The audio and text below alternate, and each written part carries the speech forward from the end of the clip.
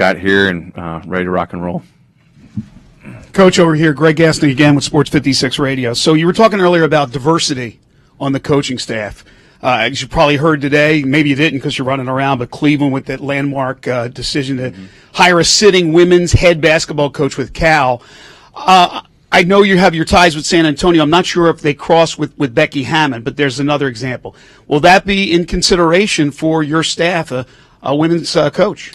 Absolutely. I mean, I think at the end of the day, um, you know, I think finding the best coaches, uh, whatever their background, whatever um, you know, um, you know, coaching experience they have.